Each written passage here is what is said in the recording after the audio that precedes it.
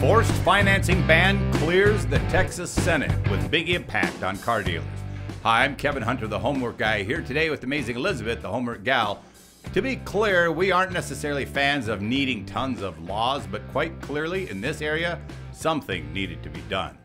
With what we see as a major development in state law and a likely impact on other states, the Texas Senate has passed a ban on dealers forcing consumers to use dealer only financing. That's right. Back in April, on a 26 to 4 vote, Texas state senators overwhelmingly approved a bill barring auto dealerships from penalizing or denying shoppers seeking to buy vehicles with cash or financing arranged outside the store. You see, friends, complaining to your state level offices really do have an effect.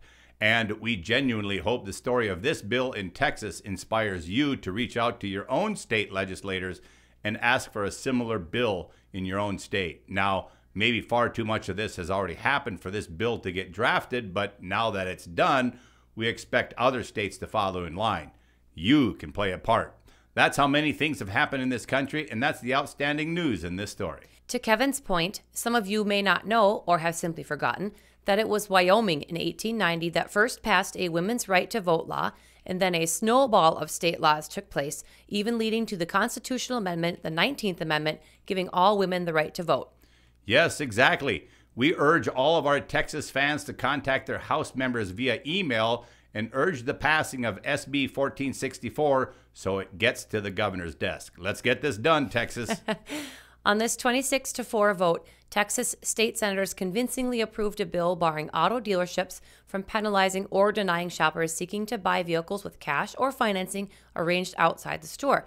This 26 to 4 vote was an 84% upvote on behalf of consumers. Should Senate Bill 1464 pass the House and be signed into law, it would be the first restriction on such forced financing nationwide, and it's about dang time. The bill that Kevin referred to would forbid an auto dealership from requiring consumers to use financing from the retailer or its partner lenders, transactions that have been long known for being a big generator of finance and insurance revenue for dealerships. The bill would also prohibit dealerships from charging more, as in higher purchase prices, to consumers who bring cash or outside financing to a deal. That's outstanding. This is a template that every state should be adopting. The bill's language also says a dealership may not make false or misleading representations.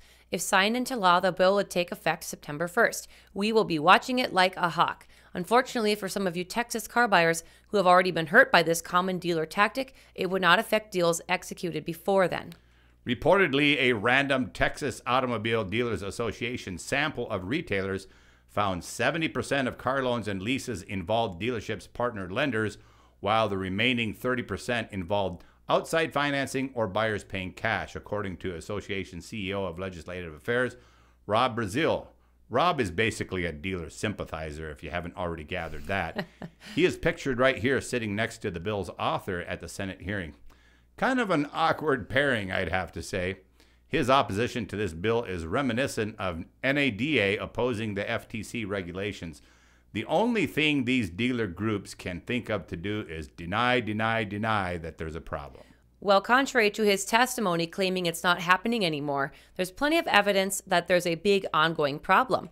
The Texas Office of Consumer Credit Commissioner has received 121 complaints about forced financing between August 2021 and February 2023, according to State Senator Royce West of Dallas, the bill's primary author. And of course, there are tons more people who have been affected. Most people don't bother to complain because they just assume that nobody will be listening and it won't do any good. I'm thinking at this point that Texas dealers were hoping that nobody would be listening, a hope that proved to be wrong in this case.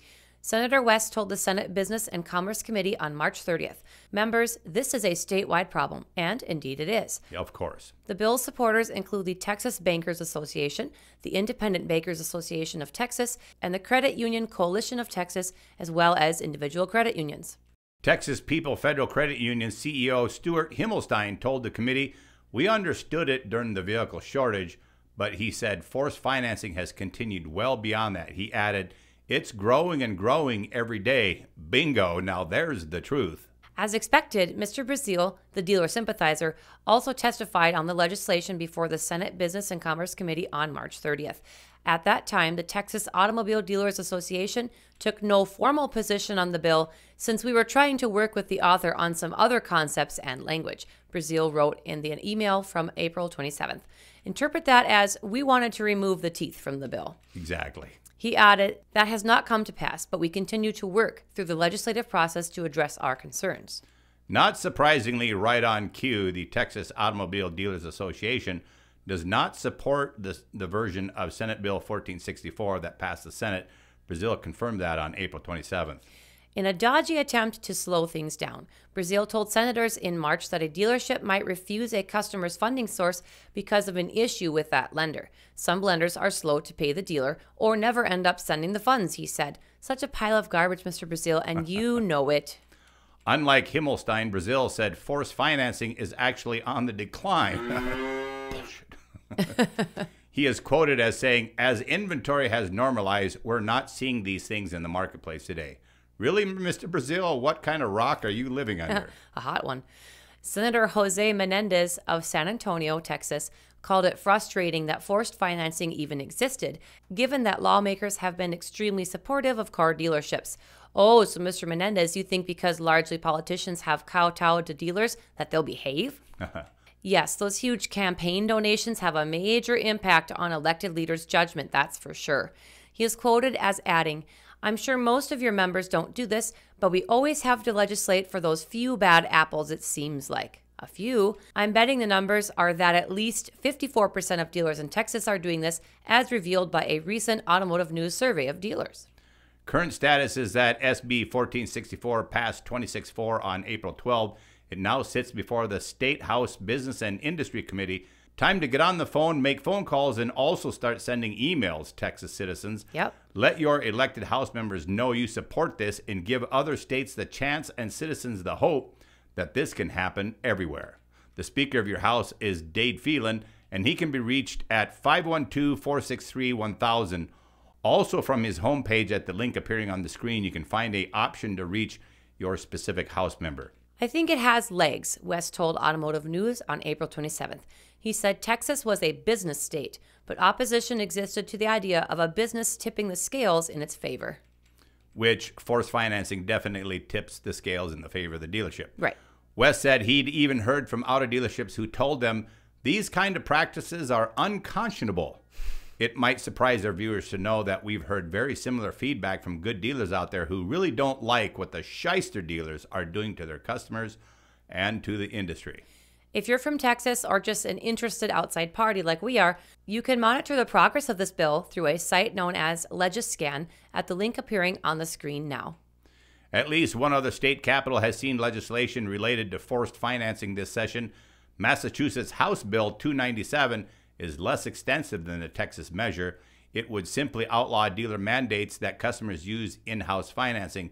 That measure was sent to a Massachusetts legislature joint committee in mid February but it has seen no activity. But mm. perhaps with Texas leading the way, now it could well happen in Massachusetts too.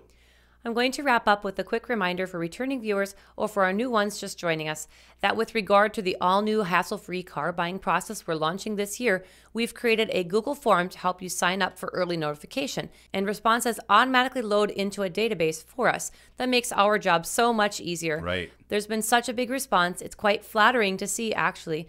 Just a heads up, there's a question at the end of the document that we'd love to hear your feedback on, so please don't skip it. It reads With regards to the current car buying process, please tell us what you like, don't like, how you view the current car buying process, or any other things you wish to see brought to life with respect to creating the ultimate car buying process that would make you say, now this is how I want to buy a car every time. We've had some great responses to that. Yeah, question. it's fun to read. If you signed up early when we first announced this and we asked you to either text us or email us, you may be getting a message back from us asking you to fill out the short form so we can avoid having to do it manually for you. If you're not sure, go to the link. Thank you. The link to the form is on our YouTube community page and it's also on our website, thehomeworkguy.com. We'll also put it in the comment section here below. Just make sure you find the link and fill it out. You're doing a great job of helping us strategically align our launch with your specific wants and needs. All right, if you're new here at the Homework Guy channel, it's vitally important that you don't forget to subscribe and ring that bell so you don't miss out on our future announcements. Join our fast growing group of subscribers and become a part of our YouTube family. If you're one of our newest subscribers, we welcome you. Also, thanks to our many faithful followers for coming back, and to all of our longtime subscribers out there, you guys rock. God bless you all.